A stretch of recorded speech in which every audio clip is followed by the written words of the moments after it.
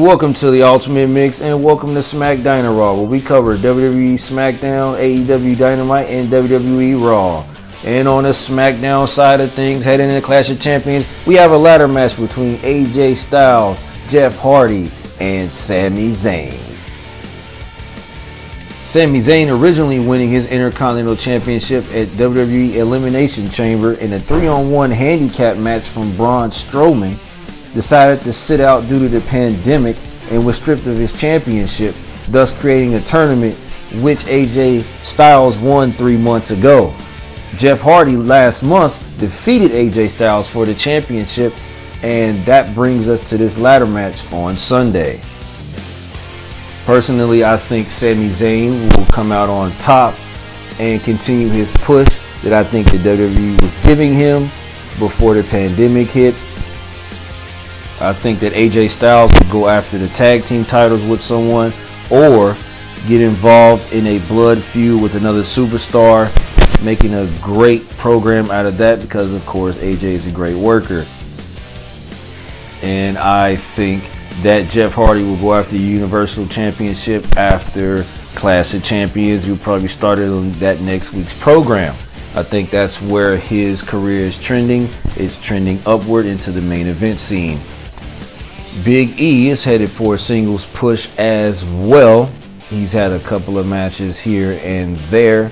Was taken out of the four-way for the number one contendership to the Universal title that of course Uce won by Sheamus. So they will have a match I think at Clash of Champions and I think Big E will get the victory. I'm hoping it's not going to be on the pre-show, but nonetheless, I have Big E coming out on top of Sheamus, and then I see Big E going on to maybe win the Intercontinental title down the line or jump into the Universal title picture as well. Now, this Bayley Sasha feud has a lot of intangibles. First of all, Bayley is scheduled to defend the SmackDown Women's title against Nikki Cross at Clash of Champions. She just turned on her former tag team partner Sasha in what looks to be a uh, singles program with both of them. And in turn, Alexa Bliss, which is Nikki Cross's best friend, has been possessed seemingly by the Fiend. So there's a lot of things that are going to go into this match coming up. I think Clash of Champions between Bayley and Nikki Cross.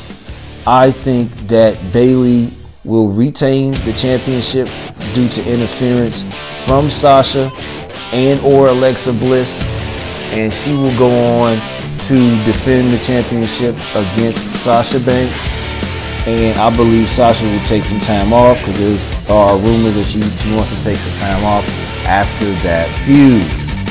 Of course, Sasha could end up beating Bayley for the championship down the line, but I think that Bayley retains in some way, shape, or fashion.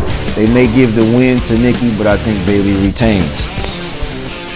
And for some reason, WWE's decided to put the Street Profits, the Raw Tag Team Champions, against the SmackDown Tag Team Champions, Shinsuke Nakamura and Cesaro.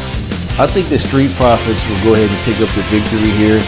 Shinsuke and Cesaro have nothing to gain by beating young upstarts, and I think that the Street Profits have everything to gain by getting a victory over these two veterans.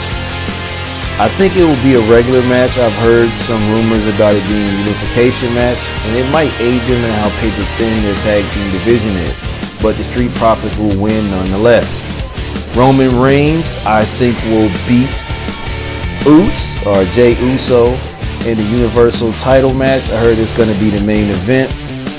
Uh, I think there's going to be a finger poke of doom reference here from Kevin Nash and Hogan's match where Uce is going to go ahead and let Roman get the victory. And I think when Jimmy Uso gets back, it'll be the Usos and Roman Reigns taking over the SmackDown brand. So Roman Reigns will pick up the victory and retain the championship. And that is your SmackDown update from the Ultimate Mix.